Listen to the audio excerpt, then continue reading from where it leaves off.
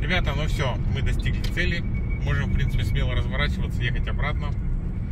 Но мы, естественно, так делать не будем. Вроде уже забронировали квартирку. Хакасия, добро пожаловать!